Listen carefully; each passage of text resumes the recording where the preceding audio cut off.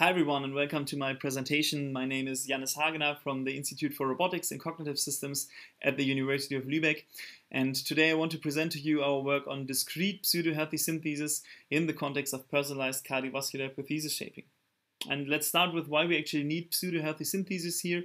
Let's imagine a patient comes to the hospital with a specific pathology and we want to design a personalized prosthesis for him or her. Then the typical workflow looks like this. Um, we require a medical image, we extract the desired prosthesis shape from it, we manufacture the prosthesis, and then it can be installed during surgery. However, such a naive approach is typically not possible, because it's typically not possible to extract this desired prosthesis shape directly from the medical image. Just imagine the pathology induced, for example, a deformation of the organ at risk, so it's bigger than it should be. Then obviously the medical image only shows a pathological shape, and obviously this is not the desired prosthesis shape.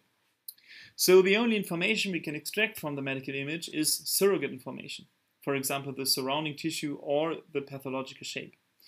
And based on the surrogate information, we can estimate a healthy shape that corresponds to the desired prosthesis shape. And this mapping is what we call pseudo-healthy synthesis. In recent years, um, several methods have been published for pseudo-healthy synthesis in the context of personalized prosthesis shaping. And all of them have in common that they feature a continuous prediction model, which basically means that the uh, prosthesis shape is drawn from a continuum of shapes. And one example is uh, to encode all the healthy shapes um, from the dataset to a latent representation using a variational autoencoder, um, such that the latent representation is basically some kind of shape space where each point in this latent space um, corresponds to one shape of the prosthesis. And um, for the inference step, which means we uh, know a pathological sample, and um, we can estimate the individually optimal prosthesis shape by mapping into this latent space to the point that corresponds to the optimal prosthesis, which is obviously a regression problem. And um, using the decoder, we can synthesize a an image of this prosthesis shape. As mentioned before, this is a continuous prediction model because it's a regression, which means um, the model is able to predict any point within this latent space representation. Um, so continuum. And this um, has several downsides from a clinical application point of view. Um, actually, this procedure comes at very, very high cost because we um, create a completely individual and completely new and novel prosthesis for each and every patient, which does not only come with high cost but also with regulatory issues um, since each and every prosthesis then is a completely new device that has never been tested. And of course, we have logistical challenges. So what we ask ourselves in this work is whether there is something in between this full personalization that is with really high costs, and on the other hand side, the one-size-fits-all approach as it is now in clinic. And um, therefore, we came up with um, a discrete approach for discrete pseudo-healthy synthesis.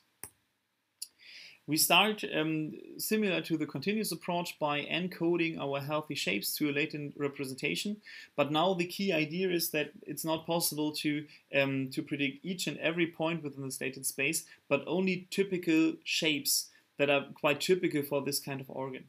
And um, the first question is how to identify these shapes, and therefore we perform the clustering in this latent space. Um, and uh, each cluster center then serves as a typical shape, as a, as a shape type that can serve as a prosthesis type. So once again, in the inference step, if we know the pathological shape, we map to the latent space, but only to the shape types. So we basically map to the individually optimal shape type that can serve as a prosthesis. And this is a classification problem now, because we don't draw out of a continuum, but only of this discrete set of shape types. And once again, we can synthesize an, an image of this prosthesis by using the decoder network.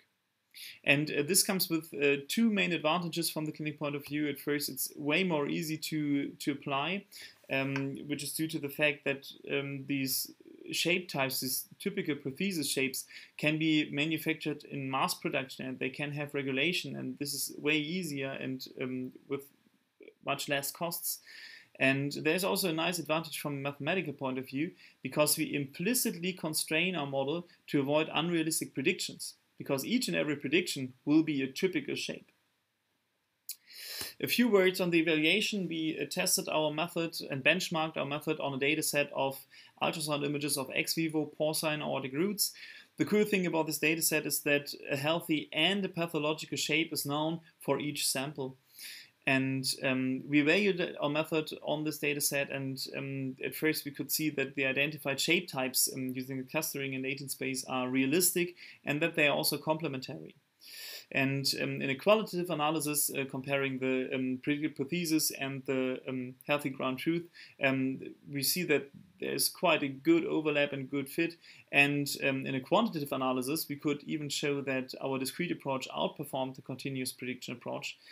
Um, so uh, we think that our, this um, discrete approach is quite promising um, for clinical application. And since um, this method is not limited to cardiovascular prostheses, it's in general a promising method for personalized prosthesis shaping. If you're interested and if you have questions, I'm very happy to see you at the panel discussion or in a smaller round at my research poster. Thank you very much and see you there.